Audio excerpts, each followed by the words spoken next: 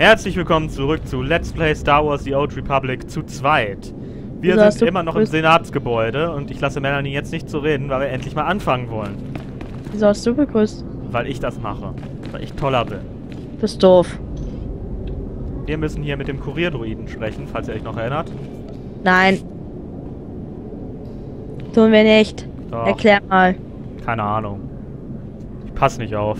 Bist doof. Ich spiele nur und ich habe wieder gerade irgendwie lag, keine Ahnung. Oh. Dann kann ich euch mal so lange erzählen, was auf meinem Schreibtisch rumliegt. Ein Sparpack Tesafilm. Hey. Jappe. Keinen Schritt weiter. Ich sehe genau, was ihr vorhabt. Wie Was haben wir denn so vor? mit einem Kurierdruiden des Senators umgehen? Dokumentendiebstahl. Was ist nur los mit euch? Das hier ist das Herz der Republik. Die größte Bastion der Demokratie in der ganzen Galaxis.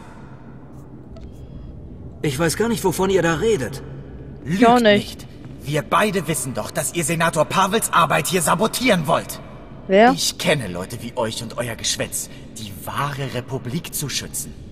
Ganz egal, wie unbeliebt Senator Pavels Pläne auch sein mögen. Die Prinzipien der Republik geben ihm die Freiheit, diese Ideen zu äußern. Die Jedi kämpfen für Frieden, nicht für Freiheit. Dann solltet ihr erkennen, dass der Plan des Senators der beste Weg zum Frieden für die Republik ist. Nein. Aber die wirklich Schuldigen sind die paranoiden Fanatiker, mit denen ihr euch eingelassen habt. Wer? Na, diese eine Tusse da Die vorne. kenne ich ja nicht einmal. Ach so. Und genau deshalb solltet ihr euch nicht mit ihnen verbunden fühlen. Tu es ich ist auch noch nicht. nicht zu spät, dass ihr umkehrt und das Richtige tut. Ich könnte vergessen, euch überhaupt gesehen zu haben. Nö. Ich habe hier ein Paket mit alten Landwirtschaftsstatistiken. Gebt mir das Paket des Senators und bringt euren Freunden das hier. Na gut. Der Senator kann Von mir aus. fortfahren. Fürs Erste. Ich bringe die falschen Das Unterlagen mag zurück. Kaisen nicht so sehr. Ihr tut das Richtige. Ich bin froh, dass ihr die Bei fehlgeleiteten Absichten dieser Fanatiker erkannt habt. Im Namen des Senators und meiner Wenigkeit, vielen Dank und viel Glück. Bye, bye. Apropos, ich könnte Kaisen ja mal wieder auf eine Mission schicken. Ich nicht. Ich hab keine Lust in Ich kann doch mal rekonstruieren. Das seht ihr jetzt auch endlich mal, wie ich wieder, wie ich rekonstruiere. Rekonstruieren. Rekonstruieren. Heißt es? Nein, habe ich nicht.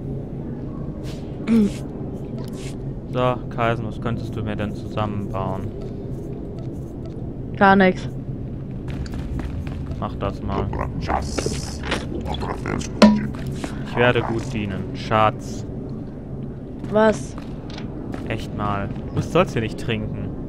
Warum nicht? Dann lallst du hier nur noch. Hä? Ja. Ich trinke doch nicht sowas. Ja, Alkohol ist schlecht, ne? Ich mag einfach keinen Alkohol. Da kann ich beha- äh, beurteilen, ob's schlecht ist. Senatorin, verstehen Sie Oder doch, nicht? die Reparatur von Coruscants Infrastruktur ist grün-stumpfwinklig. Wir brauchen eine schwarze Was? Winkelhalbierende, um die rote Parallele zu erreichen. Ich auch nicht. Das ist zwecklos. Ich verstehe kein einziges Wort. Ich bitte um Geduld, wenn ich mich unverständlich ausdrücke. Ich formuliere es klarer. Die unteren Ebenen sind äußerst beunruhigend und voller Unfälle. Aktive Helfer können das Problem lösen. Entschuldigung, hat irgendwer Nein. verstanden, was der Botschafter Droide sagen will? Ja, doch, ich. Aha.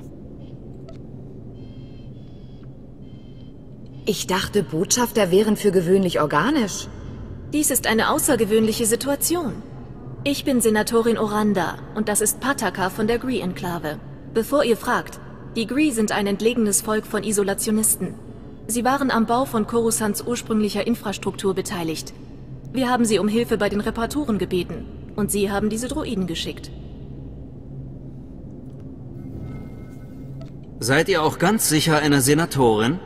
Aus Agama, einer kleinen landwirtschaftlichen Welt ohne jeglichen Einfluss im Senat. Das wollen wir ändern, indem wir Coruscant wieder auf Vordermann bringen, aber Die Enklave benötigt Rohstoffe und bietet dafür die Umkehr von Coruscants gelb-konkavem Zustand an. Zu diesem Zwecke stehen wir für einen weißen Scheitel bereit. Gree-Droiden scheinen in Gree-Mustern zu sprechen. Ich muss dieses Kauderwelsch verstehen, um Coruscant wieder aufbauen zu können. Ich drücke mich einfach aus und bitte um Verständnis. Der Handel steht vor großen Schwierigkeiten. Meine Repräsentanten werden bei den Reparaturen angegriffen. Feuer, Schäden, Furcht. Können Sie mir folgen? Nee, also, also So. das, was du vorher gesagt hast, war nicht irgendwie verstand, verständlicher.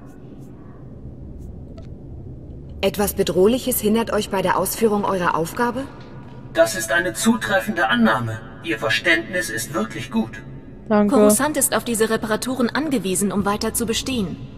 Pataka, die Repräsentanten müssen diese Gefahren einfach überwinden. Unmöglich. Meine Repräsentanten brauchen Hilfe von jemandem, der Feuer, Schäden und Chaos gewohnt ist. Eine schwarze Winkelhalbierende. Verstehen Sie? Nein.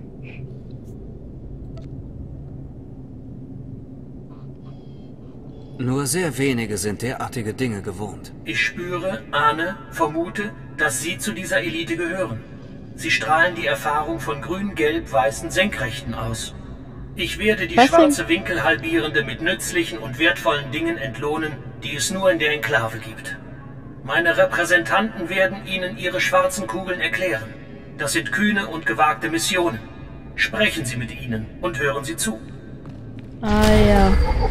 Hast du das etwa alles nicht verstanden? Nicht alles, nein. Vielleicht bist, du, McCloud. vielleicht bist du keine wahrliche schwarze Winkelhalbierende. Merkt mich.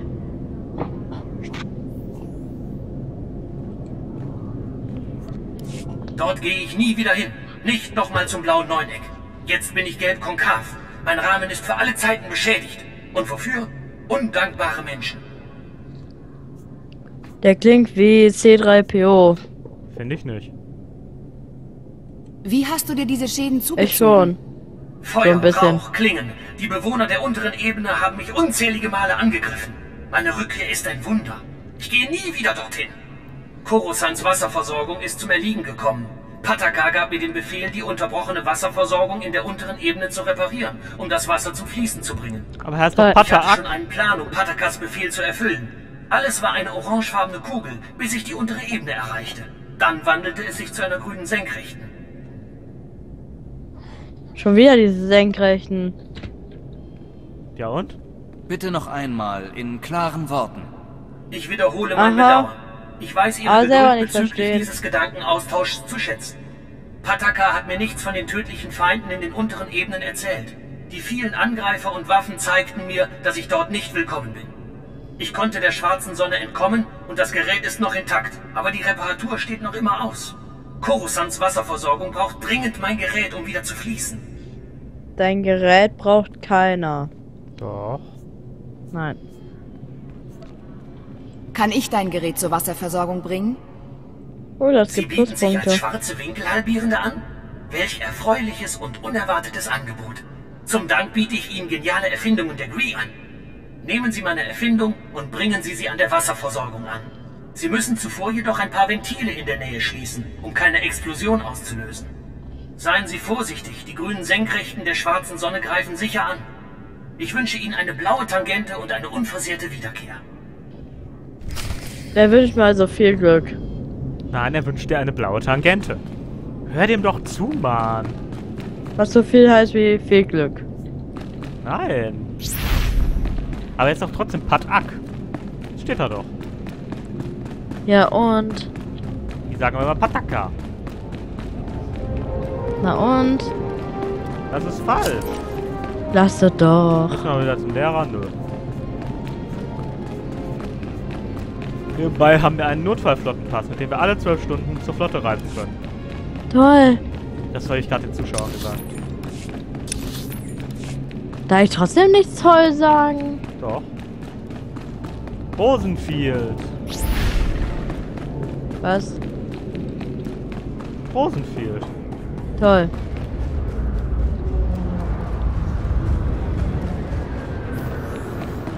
So, wie ihr seht, ich habe einen Brief und den muss ich mal, zwei Briefe sogar, den muss ich mal abholen. Na, mach das mal. Und ich habe wieder eine Echse hinter mir her. Oh, eine Nachricht vom obersten Kanzler. Ich kriege eine. Und von Ria Delarue. Ach, nix, Freunde.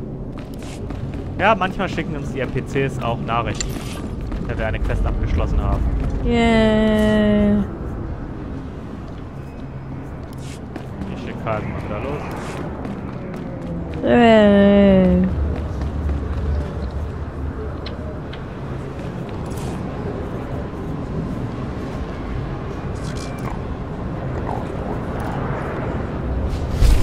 Yay, ich habe Plan gelernt.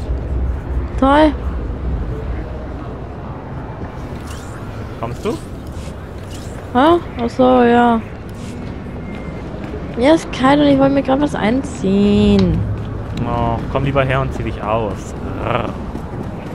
Schade, es ist nicht voll den Zuschauern. Ach, die gucken so, hier guckt da sowieso keiner zu.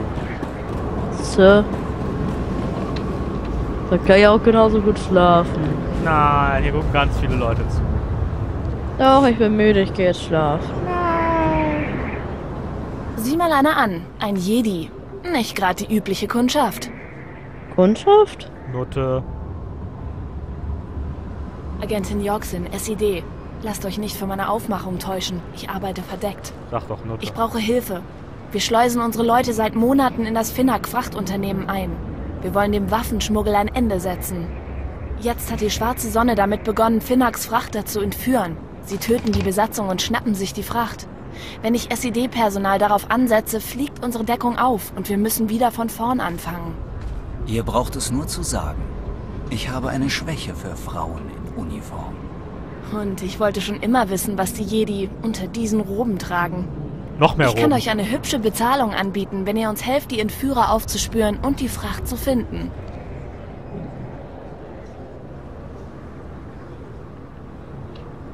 Das trägt ein Jedi wohl unter seiner Robe. Noch eine Robe. Ich denke, ich kann dafür sorgen, dass ein paar Entführer ihre Berufswahl bereuen. Sobald ihr mit ihnen fertig seid, müssen wir wissen, wohin sie die Fracht bringen. Versucht euer Glück bei den Docks. Die schwarze Sonne muss einen Lader programmiert haben, die Fracht an einem sicheren Ort abzuladen. Okay, ein Lader. Ah, rote Winkelhalbierende. Die schaffen das. Yeah. Du wirst für immer und ewig mein rosa Quadrat sein. Willkommen. Bitte wählen Was? Sie verfügbare Du wirst für immer und ewig mein rosa Quadrat sein. Toll. Oh, Ich Moment. wünsche Ihnen einen sicheren Oh, ist zurück. Das habe ich ja ganz vergessen. So, warte zurück. Der Spirakris. Weiß schon, die Bitch hier vorne. Achso. Ja, die, äh, die, ja, die Bitch. Wieso nennst du sie? Ja, okay, sie ist eine Bitch. Da seid ihr ja. Ich hatte schon Sorge, der Sicherheitsdienst würde euch Ärger bereiten. Wie ist es gelaufen? Habt ihr Pavels Dokumente? Ja, Nein. klar. Es lief alles wie am Schnürchen.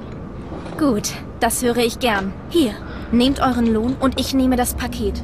Und seid gewiss, dass Senator Pavels Antrag keine Zustimmung finden wird. Okay. Das war eine einmalige Sache. Nie Bei wieder. so einer Sache werde ich nie wieder mitmachen. Ob ihr stolz darauf seid oder nicht, ihr seid ein Held der wahren Republik.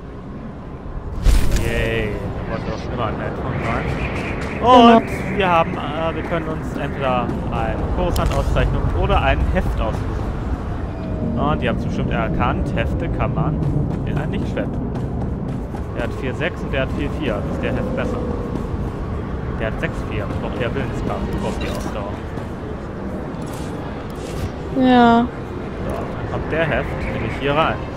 Jetzt habe ich mehr Willenskraft. Zwei Punkte.